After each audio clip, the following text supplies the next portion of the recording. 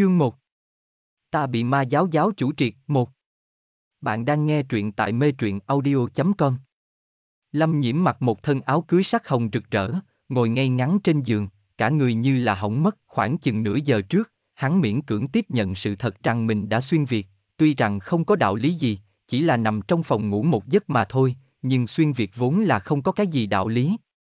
Huống hồ lâm nhiễm cảm giác bản thân mình nói không chừng còn có vần sáng nhân vật chính, xuất hiện bàn tay vàng, từ nay về sau đi lên đỉnh cao của đời người.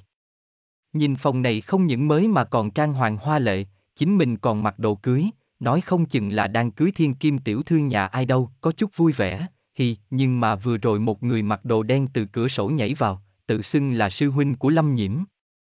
Thấy dáng vẻ không hiểu mô tê gì của Lâm Nhiễm, người mặc đồ đen lòng như lửa đốt nhắc lại nhiệm vụ một lần, Lâm Nhiễm lúc này mới biết thì ra mình là bộ khoái của lục phiến môn, đến ma giáo lần này là để nằm vùng Lâm Nhiễm. Nhìn phô trương như thế này, chẳng lẽ ta sẽ cưới con gái của ma giáo giáo chủ sao? Sư huynh nôn nóng đến mức đập trán. Sao đệ cứ như ngủ đến choáng váng hết cả đầu thế? Đệ đây là gả cho giáo chủ làm tiểu thiếp, ngày đêm hầu hạ bên người hắn để dễ tìm tòi tình báo. Lâm nhiễm nhanh chóng sờ xuống phía dưới của mình, nhận ra thứ đó vẫn còn. Có nhầm không vậy, ta là nam, sư huynh vội đến độ dơ chân. Lúc trước không phải đã nói rồi sao? Giáo chủ thích nam nhân, có hơn 10 tên nam sủng, để đứng thứ 18, lâm nhiễm thiếu chút nữa ngất xỉu, không hai sư huynh nghi ngờ. Có chuyện gì với đệ thế? Hay đệ nghĩ lâm trận bỏ chạy, lâm nhiễm gật đầu lia lịa. Đúng đúng đúng, ta muốn lâm trận bỏ chạy, sư huynh hẹn gặp lại, sư huynh kéo hắn về. Không có cửa đâu, lâm nhiễm. Ta sẽ bị phát hiện thôi ta nói với ngươi, ta mất trí nhớ, sư huynh cười lạnh. Cứ giả vờ tiếp đi, lục phiến môn ai chả rõ ngươi biết giả vờ nhất, nếu không đã không phái ngươi đi nằm vùng, lâm nhiễm đau khổ lau mặt. Các ngươi xem bộ khoái các ngươi, vì tìm tòi tình báo, còn phải đi hiến thân cho ma giáo giáo chủ, có cần làm đến mức thế không? Sư huynh đầy mặt chính khí lẫm liệt. Vì nhân dân phục vụ trong lòng ngọt, lâm nhiễm rất muốn khóc. Ngọt cái đầu ấy, đương nhiên người bị thượng không phải là ngươi, sư huynh cười hắc hắc, sờ mặt mình. Ngược lại ta cũng nghĩ làm, nhưng người ta ghét ta chiếu bộ. Đây chính là điểm tốt của dáng dấp bình thường, để xem đệ da non thịt mềm, mày xinh mắt đẹp, thường ngày không thiếu hấp dẫn mấy cô nương thích, thế nhưng làm gì sớm muộn cũng phải trả lại, lâm nhiễm khóc tức tức đấm đấm hắn. Ta không thèm quan tâm, ta làm không được, sư huynh không để ý hắn, từ trong lòng lấy ra một bình thuốc nhỏ khả nghi, đưa qua. Tốt nhất để hãy dùng thứ này trước, lâm nhiễm nhận lấy. Đây là gì, sư huynh? Xuân Dược, Lâm Nhiễm. Sư huynh nói đầy nghĩa chính từ nghiêm. Dù sao cũng phải hiến thân, sao không khiến bản thân thoải mái một ít, thiếu chịu đau đớn, không đợi lát bắt đầu cái kia, để kêu cha gọi mẹ khiến giáo chủ tức giận, về sau không chịu lâm hành nữa, làm sao còn tìm tòi tình báo được, lâm nhiễm tỏ vẻ cự tuyệt, hoàn toàn không có ý định uống thuốc, thấy thế, sư huynh quyết định thật nhanh, điểm huyệt lâm nhiễm, sau đó tách miệng hắn ra rồi đổ vào một viên thuốc nhỏ, dùng rượu cưới để lâm nhiễm nuốt xuống, vừa vuốt ngực sư đệ mình vừa nói.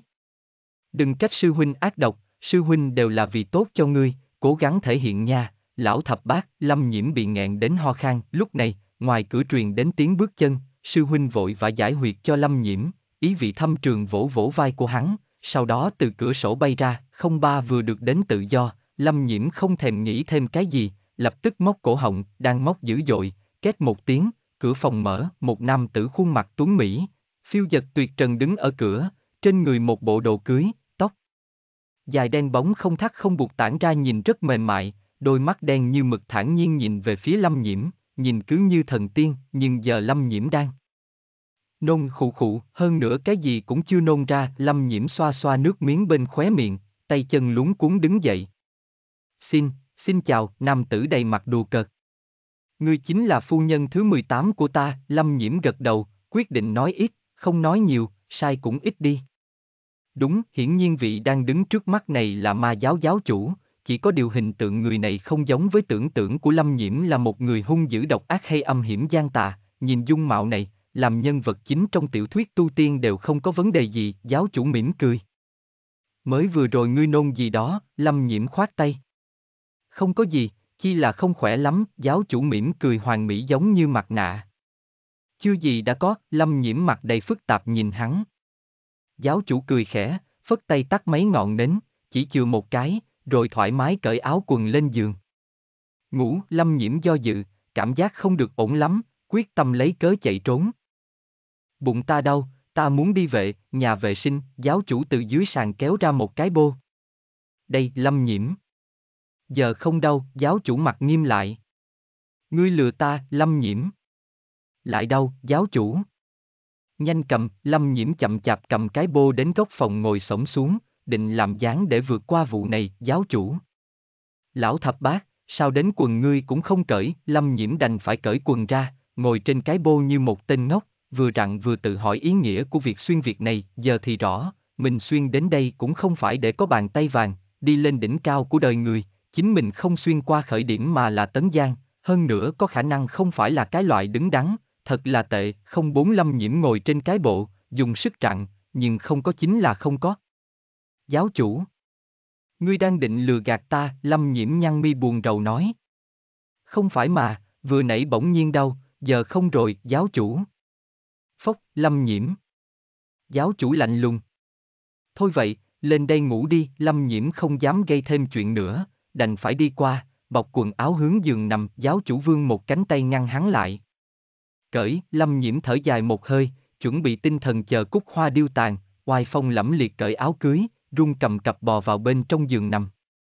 Trong lòng nhắc nhở chính mình, mình là bộ khoái, đây là vì dân chúng, vì nhân dân phục vụ trong lòng ngọt, nhưng chờ nửa ngày, giáo chủ cũng không nhào tới, thậm chí nhìn cũng không thèm nhìn Lâm Nhiễm một cái, chỉ nghiêng ngươi quay lưng về phía hắn ngủ, Lâm Nhiễm nhẹ nhàng thở ra, nghĩ thầm tránh được một kiếp, thế nhưng vẫn khẩn trương đến không ngủ được, đành nhìn chầm chầm màn che đỉnh của giường, ngẩng người tự hỏi tương lai nên làm gì, nhưng nghĩ nghĩ, đầu lại không khống chế được liên.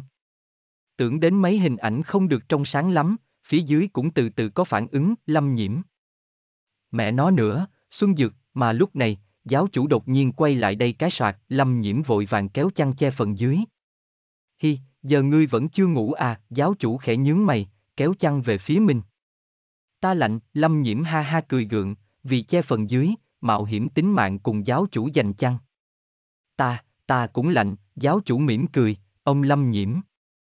Vi phu ông ngươi ngủ, lâm nhiễm bị bắt trút vào lòng giáo chủ, bị ảnh hưởng của Xuân Dược khiến cái ấy đứng lên, cực kỳ không tốt đặt trên đùi giáo chủ, giáo chủ nửa cười nửa không, cổ họng ngâm một tiếng dài, rồi nắm chặt cái kia gì của lâm nhiễm, hỏi. Đây là cái gì? Lâm nhiễm trầm mặt một lát. Ngươi không có, giáo chủ. Sao lại có thể, lâm nhiễm? Thế ngươi còn hỏi, giáo chủ hai mắt nguy hiểm nhíu lại, không năm ta là lâm nhiễm, vạn vạn không nghĩ tới, ta bị ma giáo giáo chủ triệt, hơn nữa còn rất thích, càng không nghĩ tới là, làm làm xong hắn liền ngủ, một ma giáo giáo chủ phát rồ, vào đêm tân hôn với tiểu thiếp thứ 18, trừ giúp tiểu thiếp một phát xong, cái gì cũng không làm, giáo chủ nhất định bị liệt dương, lâm nhiễm kết luận xong, cả người thả lỏng, một lát ngủ thiếp đi, chú thích, một. Triệt. Kiểu như thủ dâm ý, hai. Bộ khoái. Một chức như cảnh sát thời nay. ba Khởi điểm. Trang web viết văn dành cho nam. Tấn Giang. Trang web viết văn đam mỹ. Nghe trọn bộ tại mê truyện audio.com, link trực tiếp ở phần mô tả.